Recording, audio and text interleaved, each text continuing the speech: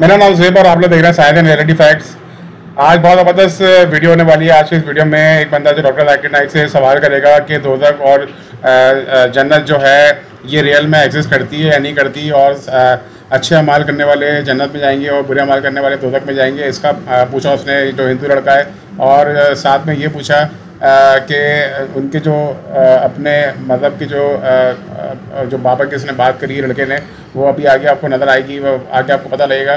तो उसके बारे में उन्होंने पूछा कि इसको लेके अगर हम इनको मानते हैं तो इतना काफ़ी क्या? तो उन्होंने उसको जवाब दिया कि दो दफ़ा जहनम के ऊपर तो खैर वो भी आगे बताएँगे तो आप खुद ही आपको समझ आ जाएगा। तो बाय डिफ़ॉल्ट मैं आपको वैसे बता दूँ कि कुरान में और इस्लाम में जो है, आखिरत का बहुत ज़्यादा ज़िक्र हुआ है। और मुसलमान जो है उसकी असल ज़िंदगी आखिरत में ही होती है। मरने के बाद जो वो दुनिया में अमाल करता है, अल्लाह ताला ने दुनिया में इंसान को भेजा इसलिए कि वो एक इम्तहान से गुजरे और उसके बाद उसकी असल ज़िंदगी मरने के बाद, यानी आखिरत में जब उसका हिसाब किताब होगा कि वो जन्नत में जाएगा या दोजक में जाएगा तो मुसलमान तो इसी पे यकीन करता है। तो doctor Zakir Naik different references के ज़रिए उनकी किताबों में भी जो चीज़ें यकसा लिखी हुई हैं, जो कुरान में भी हैं या इस्लाम में भी हैं तो उसके ज़रिए इस लड़के को जवाब देंगे और समझाने की कोशिश करेंगे। चलिए वीडियो का आगाज़ करते हैं।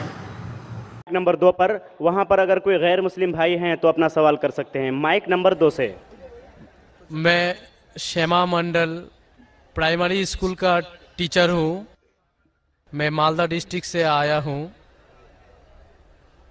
मेरा मन में बहुत दिन से कुछ सवाल है मेरा धर्म के प्रति और जो स्वर्ग और नर्क के बारे में बार बार बोला जाता है।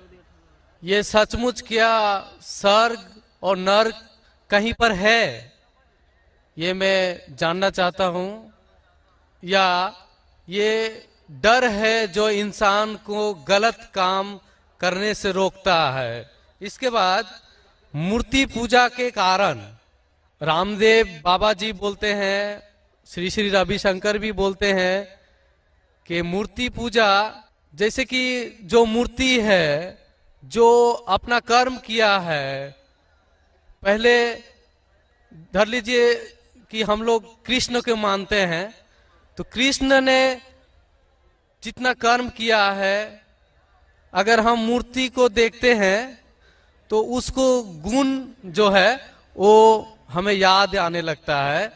तो ये पॉजिटिव बोलते हैं कि मूर्ति को देखने से उसके अंदर में जो अच्छा ही गुण था, वो हम में जाग जाता है और हम वैसा ही बनना चाहते हैं।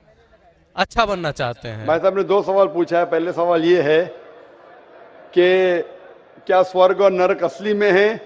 क्या सिर्फ़ डर पैदा करने के लिए, इंसानों के लिए है? स्वर्ग और नरक असली है, जन्नत और जहन्नम असली है, और असली चीज़ भी डर पैदा करती है। ज़रूरी नहीं कि वो बनावटी होना चाहिए। असली है और इसमें जो लोग गलत करेंगे, वो नर्क में जाएँगे, जो अच्छा काम करेंगे, स्वर्ग में जाएँगे। जहाँ तक कि दूसरा सवाल है कि रामदेव बाबा और श्री श्री रविशंकर कहते हैं कि श्री कृष्ण को जब उसकी तस्वीर को देखते हैं, मूर्ति को देखते हैं, जो अच्छे काम किए, वो याद आते हैं और आप उनके जैसा बन जाते हैं। ये कह रहे श्री श्री रविशंकर और रामदेव बाबा। आप श्री श्री रविशंकर में मानेंगे या वेद में मानेंगे? वेद कहती है, यजुर्वेद चैप्टर नंबर 32 वर्ष नंबर तीन, न तस्त्र प्रतिमा अस्थि उस ईश्वर की प्रतिमा नहीं।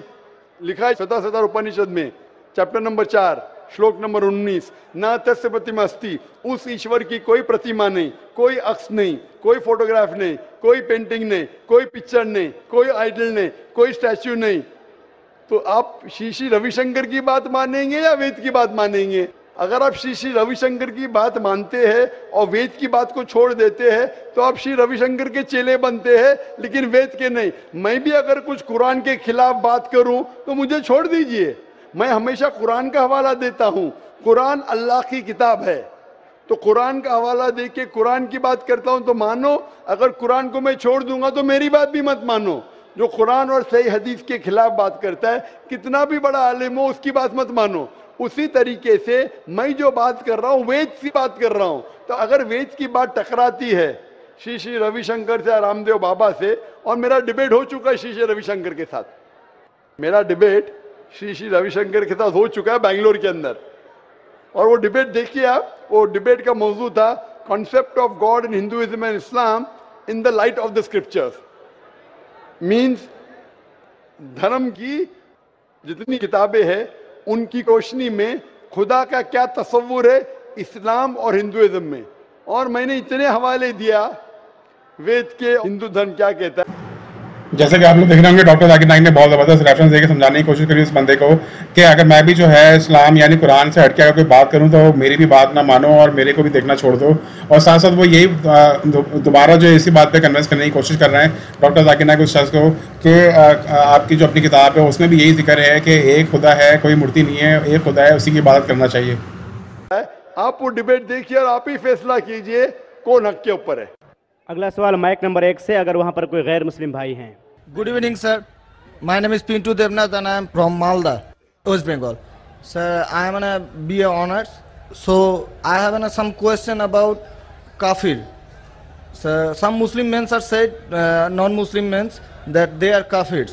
So मैं इसके बारे में आविधानिक अर्थ काफिर का जितना तक जानता हूँ कुफरू से आया है ये सब तो सर, इसका आविधानिक अर्थ होता है इस्लाम के गोपनीयता को जो स्वीकार नहीं करता, उसके सत्यता को जो स्वीकार नहीं करता, उसको काफिर कहा जाता है। आप ही के किसी एक चैप्टर में या किसी एक किताब में लिखा हुआ है सर, अगर इस नाम से आपको बचना चाहते हो तो आप इस्लाम कबूल करो या फिर और दूसरा कोई उपाय ढूंढ लो। उस, ये दूसरा कोई उपाय ढूंढ लो, ये सर मैंने नहीं पढ़ा है, लेकिन मैं ये अपने दिल से बोल रहा हूँ। लेकिन सर, काफिर का सब, ये जो बोल रहा है जो इस्लाम के गोपनीयता, सत्यता का जो गोपनीयता है, हम जो वो तो हम मैंने कभी अस्वीकार नहीं कर सकते क्योंकि हमारे बहुत सारे मुस्लिम फ्रेंड्स हैं, हम उसके साथ बहुत अच्छे तरह से रहते हैं, बहुत अच्छे तरह से बिहेव करते हैं, फिर भी हमको as a non Muslim why I should call an kafir this is my simple question sir भाई साहब का सवाल है कि काफिर किसे कहते हैं? खुद ही काफिर का उसने मानी भी दिया, क्योंकि उनने मेरी कसट सुन चुकी है और मेरी किताब भी पढ़ चुकी है शायद। इसमें कहा है कि काफिर आता है लफ्ज़ कुफ्र से, जिसका मानी है कि इस्लाम की हक्कानियत को झुटलाना। कुफ्र मतलब ना मानना। इन शॉर्ट, काफिर मतलब जो इस्लाम की हक्कानियत को नहीं मानता है, जो नॉन मुस्लिम है। तो अब नॉन मुस्लिम है क्या क्या? है नॉन मुस्लिम है ना? तो अब नॉन मुस्लिम तो काफिर कहेंगे ना। और जो आपने आखिरी पार्ट जो बराबर से नहीं सुना, मैंने ये कहा आप चाहते हैं कि कोई आपको काफिर नहीं बोले? आपको क्या गाली लग रही है काफिर? गाली नहीं ना? काफिर मतलब जो इस्लाम को नहीं मानता। इंग्लिश में बोलेंगे नॉन मुस्लिम। अगर आपको गाली लगती है कि काफिर गाली है एक चीज़ अगर आपको लगता है गाली है और कोई आपको काफिर नहीं कहे तो इस्लाम कबूल करो कोई काफिर नहीं कहेगा। ये किताब में लिखा था और कुछ नहीं। हम तो कभी सर इस्लाम के गोपनीयता को या सत्यता को कभी अस्वीकार नहीं किया है ना? हम तो कभी भी नहीं बोले ऐसा। तो हमको आप- क्यों काफिर बोला जाए? आप मानते खुदा एक है? हाँ जी। आप मानते कि बुत परस्ती गलत है? सर बुत प्रस्ती मतलब ये समझ नहीं है। मूर्ति पूजा गलत है का सही है? मूर्ति पूजा सर हम हिंदू है। अब माँ दुर्गा का जब पूजा होता है माँ शेरावाली का जब तो पूजा वो तो आपको लगता है कि आप स्वीकार कर रहे हैं लेकिन स्वीकार नहीं कर रहे। क्योंकि वेद में भी लिखा है कि खुदा का कोई अक्स नहीं है। मूर्ति पूजा भी गलत है हिंदू मजहबी किताब में। तो आप अगर मूर्ति पूजा करते हैं तो इस्लाम की हकनियत को जुटला रहे। आपको लग रहा है कि मैं इस्लाम के खिलाफ नहीं हूँ। लेकिन अगर आप मूर्ति पूजा कर रहे कुरान में लिखा है मूर्ति पूजा गलत वेद में लिखा है गलत तो आप अगर करते हैं तो जो भी आपको काफिर बोलता है सही बोल रहा है, मतलब आप गैर मुस्लिम है। उसमें बुरा लगने की बात क्या है? आप समझ रहे ना? नहीं सर आप बोल रहे हैं कि मैं जैसे कि आप लोग वीडियो में देखते होंगे शख्स का बहुत ज़बरदस्त सवाल था कि क्या काफिर का मतलब ये होता है कि जो भी नॉन मुस्लिम है, वो काफिर कहलाएगा? तो इस्लाम में काफिर की क्या डेफिनेशन है? तो डॉक्टर जाकिर नाइक ने उसको जवाब दिया कि हर नॉन मुस्लिम जो इस्लाम को नहीं मानता, वो काफिर है। तो डॉक्टर जाकिर नाइक ने इसको ये भी बताया साथ साथ कि अगर आप इस्लाम में आ जाते हैं तो आप काफिर नहीं खिलाएँगे अगर आप कहते हैं कि अगर आपको काफिर शब्द जो है, वो बुरा लगता है काफिर जो है, वो गाली टाइप का शब्द शब्द लगता है तो आप इस्लाम में आ जाए तो आप आप जो है, काफिर नहीं खिलाएँगे और साथ साथ उन्होंने उनकी जो किताब है, हिंदू मदद की वेद किताब, उसमें भी लिखा है। उसका भी उन्होंने ज़िक्र किया है कि बुद्ध की पूजा करना या बुद्ध परस्ती करना जो है, वो गलत है। और अल्लाह के अलावा जो है, अल्लाह का कोई मबूत नहीं। तो फिर भी जो है, बुद्ध परस्ती की जाती है, हिंदू मदद में जबकि ऐसा लिखा है। तो साथ साथ जो है, डॉक्टर जाकिर नाइक उसको कुफर के बारे में या काफिर कौन होता है इसके बारे में उन्होंने यही बताया कि जो इस्लाम को नहीं मानना होता है, जो नॉन मुस्लिम होता है, उसी को कुफर या काफिर कहा जाता है। इस्लाम की हक्यानत को नहीं झुटला रहा। हम झुटला रहे तो है। आपने बोले मूर्ति पूजा कर दे मतलब झुटला दिए।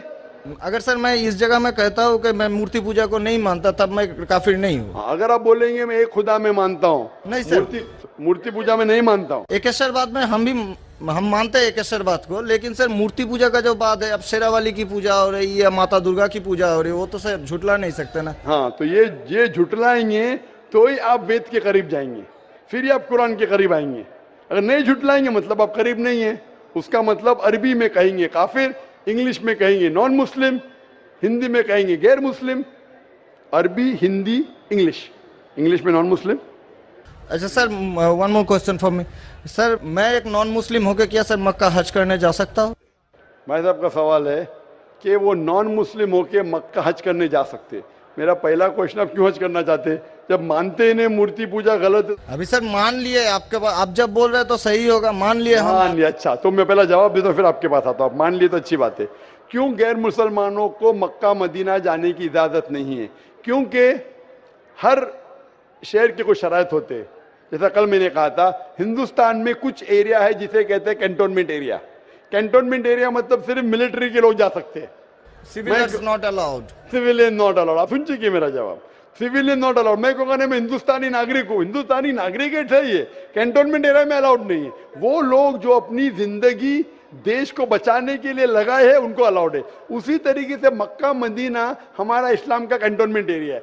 वो लोग जो अपनी ज़िंदगी देने को तैयार है, इस्लाम के लिए वो लोग का अलाउड है, बाकी लोग का अलाउड नहीं है। पहला जवाब। दूसरा जवाब।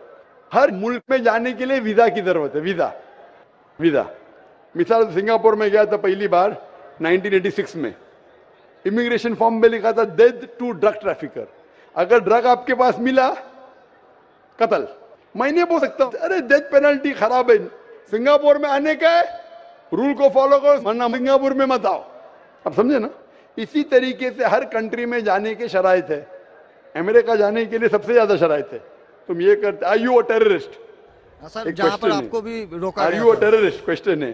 किसने हाँ लिखा मैं अभी तक जानता नहीं हूँ। किसने हाँ लिखा अभी तक मैं जानता नहीं हूँ। Do you belong to terrorist organisation अभी तक के मैं नहीं जानता हूँ किसने हाँ लिखा। ये क्यों लिखते पता नहीं मुझे। इसी तरीके से मक्का, मदीना जाने के लिए एक अहम शरत है। सबसे अहम शरत जो ज़रूरी है, वो ये है कि वो शख्स जो मक्का या मदीना जाना चाहता है, वो अपने जबान से कहे, ला इल्लल्लाह मोहम्मद रसूलुल्लाह। ना कोई माबूद है, सिर्फ़ अल्लाह के और मोहम्मद के पैगंबर है। इसमें अगर आपको यकीन है तो आप जा सकते हैं। नहीं सर, इसमें बहुत एकदम यकीन है, क्योंकि हम जब चार साल पहले ट्रेनिंग में थे, तब हमारा एक दोस्त, मैंने दोस्त का दादा हुआ करता था, बड़े भैया से। उसने हमको सिखाया, कभी किसी मस्जिद के सामने से जाओ अगर तुमको कुछ ना आए सिर्फ़ यही बात बोलो ला मोहम्मद ये बहुत बोलने के अलावा यकीन करते हैं कि खुदा एक है जी आपको यकीन है कि बुत परस्ती गलत है? आज से तो यकीन हो गया? ठीक है आप आज से यकीन हो गया। कल क्या किया वो माफ़ हो जाता है। आप मुसलमान बन के कल क्या किया माफ़ हो जाता है। तीसरी चीज़ क्या आप मानते हैं मोहम्मद आखिरी पैगंबर है? हाँ जी। तो आप मुस्लिम बनना चाहते हैं अभी? ये तो पिताजी और माताजी के ऊपर डिपेंड करेंगे। आप जो बनना चाहते पिताजी माता जी ने आप बनना चाहते हम अकेले बन के सर वो तो वो भी वो लोग भी तो हमारे हाँ, इंशाल्लाह आएँगे। वो आएँगे क्या नहीं अल्लाह ताला उनको पूछेगा। पहले आप कबूल करेंगे फिर उनको लेके आएँगे ना। हम तो तय दिल से आपका बोल रहे हैं कि हम कबूल तो करना मानते चाहते खुदा एक है हाँ, मानते हैं। बुत परस्ती गलत है? गलत है। आप मानते मोहम्मद सल्लल्लाहु पैगंबर है? हाँ। आपको कोई भी ज़बरदस्ती कर रहा है ये कहने के लिए? नहीं। कोई दबाव? नहीं। कोई भी आपको रिश्वत दे रहा है? नहीं। आप अपने दिल से करना चाहते हैं? हाँ तय दिल से। उसके बाद जिसको भी आप कहने के आप कह सकते हैं। तो मैं अरबी में कहूँगा हम दोहराएँगे वाई नॉट अशदु। अशदु। अल्लाह। अल्लाह। इलाहा। इलाहा। इल्लल्लाह। इल्लल्लाह। व अशदु। व अशदु। अन्ना।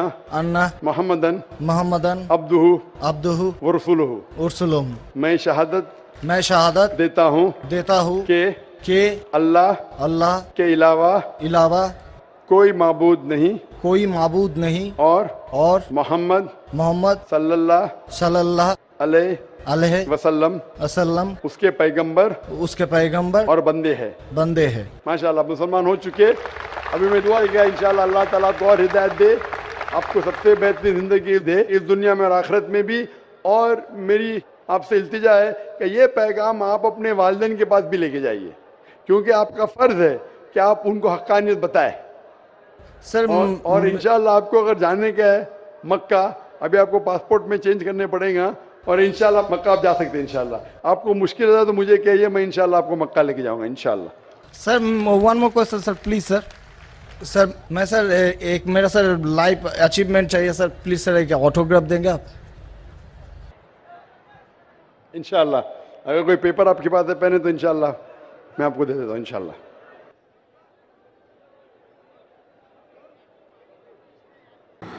जैसा कि आपने इस वीडियो में देखा होगा, इस हिंदू शख्स ने बड़ा ज़बरदस्त डॉक्टर जाकिर नाइक से सवाल किया था कि मैं हिंदू होकर क्या हज कर सकता हूँ या खाने काबा जा सकता हूँ। तो डॉक्टर जाकिर नाइक ने बड़ा ज़बरदस्त तरीके से समझाने की कोशिश करी है इस शख्स को कि आप जिस तरीके से किसी मुल्क के अंदर कोई कॉन्टोमेंट एरिया होता है या आर्मी का एरिया होता है तो आप वहाँ पर नहीं जा सकते।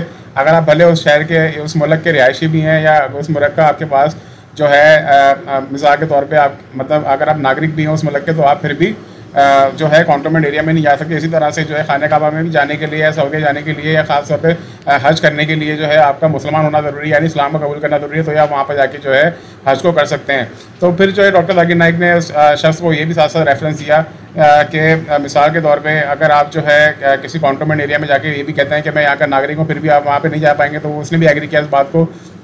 तो साथ साथ जो है, बताने का मतलब ये है कि हिंदी एंड, फिर वो साथ साथ ये भी कह रहा था कि उसके माँ बाप जो है वो हिंदू मज़हब से हैं और वो अगर इस्लाम कबूल कर लेता है तो उनकी इजाज़त लेना ज़रूरी है। तो इस पर डॉक्टर जाकिर नाइक ने भी रेफरेंस दिया और जो मुसलमान भाई हैं, वो जानते भी होंगे या जो हिंदू भाई हैं, जिनको नॉलेज है अच्छी, वो भी जानते होंगे कि किसी मज़हब को कबूल करने के लिए जो है किसी अपने यानी पेरेंट्स से या अपने माता पिता से पूछने की ज़रूरत नहीं है कि अगर आपको जो है यकीन है कि अल्लाह है कि उसका कोई मबूद नहीं और उसका उसके पैगंबर जो है आखिरी नबी सल्लल्लाहु अलैहि वसल्लम है तो आप इस्लाम के दायरे में दाखिल हो जाते हैं। तो उसी के तर्ज पे ही इस बंदे ने जो है आखिर में इस्लाम कबूल किया और कलमा पड़ा उम्मीद आज की वीडियो बड़ी ज़बरदस्त रही। वीडियो को लाइक कीजिएगा। चैनल जगह पे मिलता है। नेक्स्ट वीडियो में तो बहुत ख्याल रखिएगा।